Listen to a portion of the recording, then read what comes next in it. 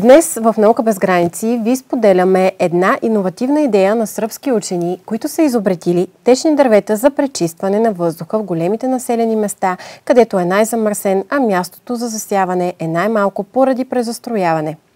Liquid 3 представляват 600 литрови контейнери, в които се поставя водораслото хорела.